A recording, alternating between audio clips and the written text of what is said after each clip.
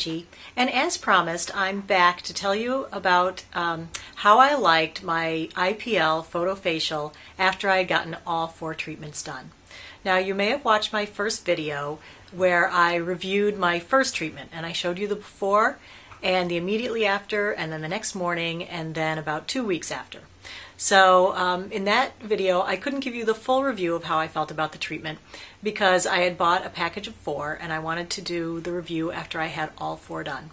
So I had the last one done last Thursday, um, so it's been exactly a week since I had it done. I guess what you're really here to find out is um, did I like it and did I feel like it worked and was it worth the money?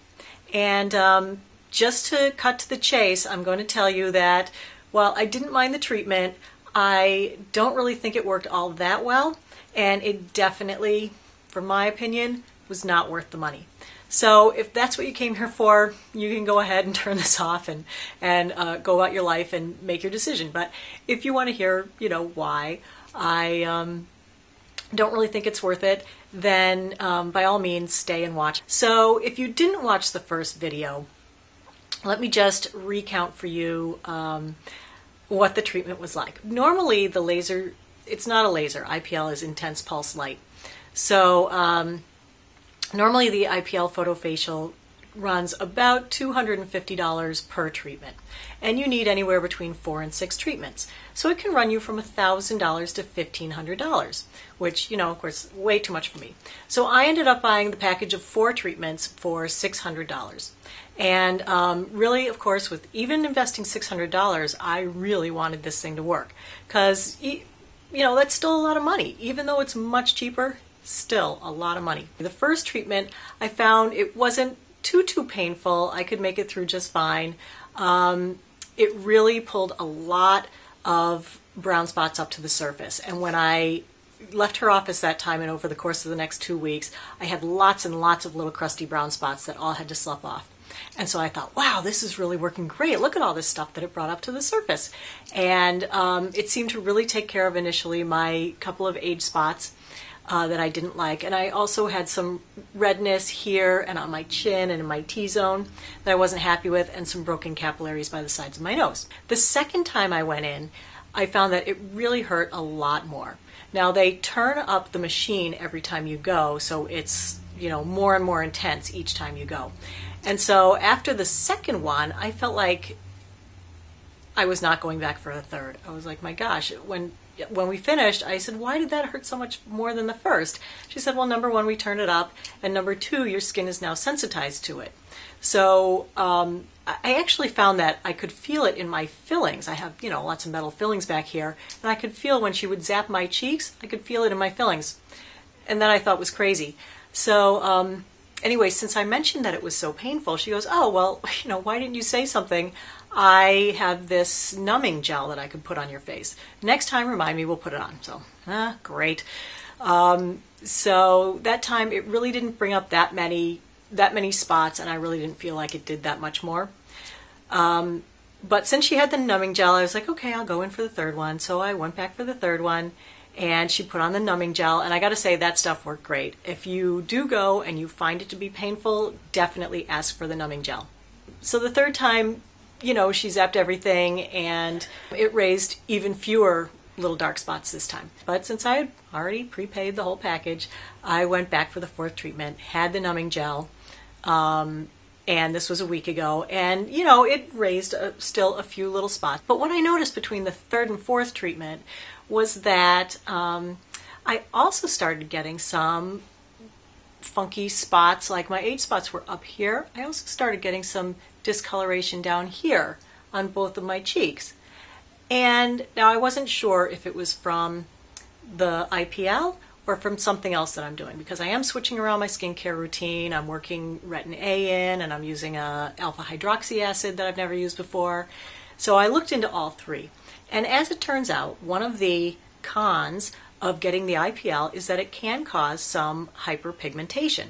So you can end up with it actually causing darker spots in other areas of your face that you didn't have them before.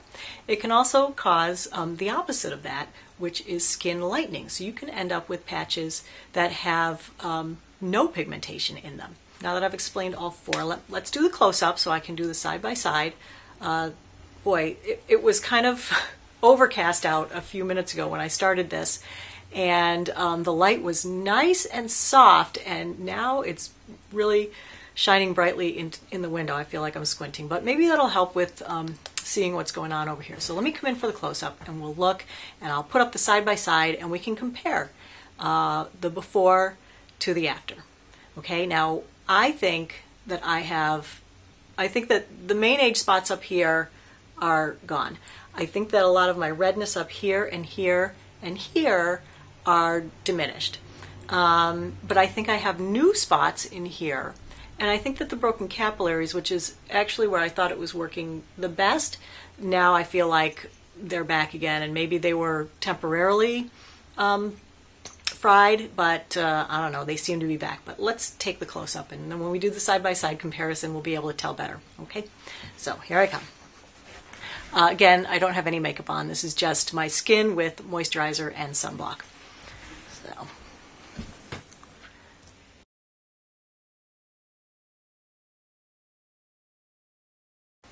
And on my forehead, like I am very freckly. Freckles are brown spots, so I thought maybe it would take care of them, but clearly no, because I have lots and lots of freckles up there still.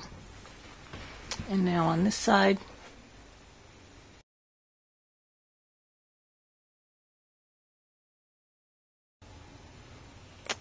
capillaries.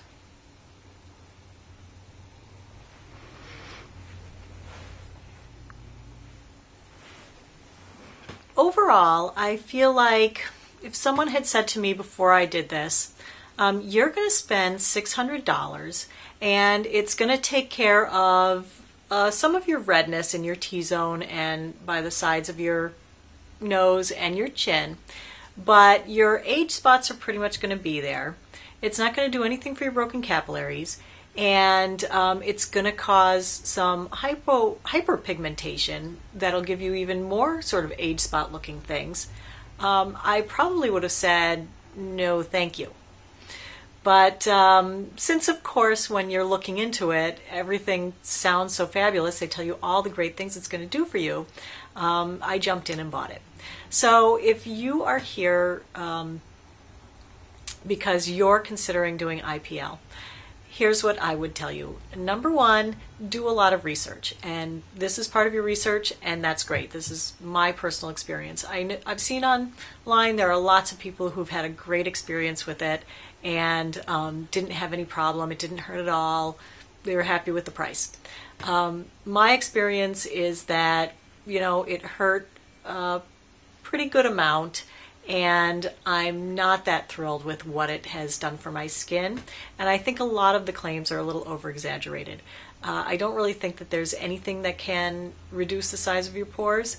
They're not like windows that open and close, they are what they are. Um, and so, certainly, I didn't have any reduction in the size of my pores. Um, as we saw, my broken capillaries are still there and broken, and now I feel like I have more stuff going on over here that needs to be covered up with concealer and makeup. For the money, 600 or 1000 or $1,200, whatever you're going to spend, um, you can buy a lot of foundation and a lot of concealer for that kind of money. Um, so for me, in the future, I will not be looking into any more um, photofacials or probably even any more lasering. So if you have age spots that you would like to get rid of, um, I would look at an IPL or a laser treatment last. What I would do is look into vitamin C serum first. Um, everyone seems to be talking out about it on YouTube. Uh, there are ways to make your own at home for really very short money, or you can buy a vitamin C treatment. Now, this could take up to six months to um, help diminish your age spots. I haven't used it yet, so I can't tell you if it works or not. But everybody else swears by it. So I feel like, you know, if you have six months uh, that you're going to be thinking about this, take that time to do your research on IPL and try the vitamin C treatment. The other thing is that um, dermatologists use liquid nitrogen to remove them all the time. And um, while it's going to cost you the doctor's appointment, um, and it may or may not be covered by insurance, you can pretty much go in there and for 250 bucks for an office visit, you can have you know a whole boatload of age spots removed with liquid nitrogen. Um, I kind of wish I had known that before because that's probably what I would have done. I would look into spot treating my age spots. Um, now before I would look into having like a whole face thing done. I thought this would take care of my freckles and all this other stuff, and you know, it really didn't. And like I said, you can buy a whole lot of Botox, fillers, concealers, whatever, for that six to twelve hundred dollars. So um, sorry to say, this was a disappointment for me. I had such high hopes for it, but it's a learning experience, and so I'm here to pass my information on to you so that I hope that you don't make the same mistakes I do. Or who knows, you may like how this came out and decide, yes, this is for me, I'm going to do it. That's it. I hope this has been helpful. I hope you enjoyed watching the video, and um, thanks so much for watching. I really appreciate it. Have a great day. Take care. Bye bye.